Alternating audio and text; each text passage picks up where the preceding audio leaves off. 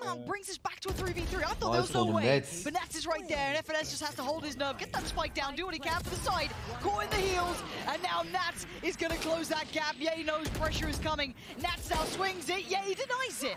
Oğlum bu elemana dikkat edin lan. 1v2, Ults come online, the Flash still knows he's in there. towards the elemana shot, but he finds d3ffo. He's gone again. Oh, yay, he switched to the other side. What does Sheydos do? No Flash, no nothing. It's just the gun at his side right now, and yay is going to... Oh, Ah. He's made a miss. He's made a Badişat ölüyor mu? Ölüyor. No way. Lan ya.